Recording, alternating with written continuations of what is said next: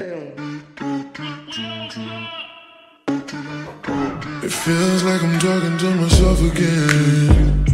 I don't know when you start deleting all your messages out your phone. I'm you made me? Why you turn around and try to blame me?